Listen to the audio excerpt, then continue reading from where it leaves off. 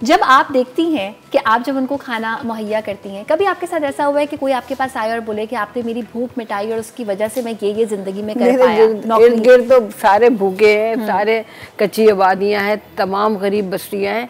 वहाँ के हालात तो कोई पूछे कोई देखे आकर समझे तो सही कि गरीब के मसाइल कितने ज़्यादा बढ़ चुके हैं।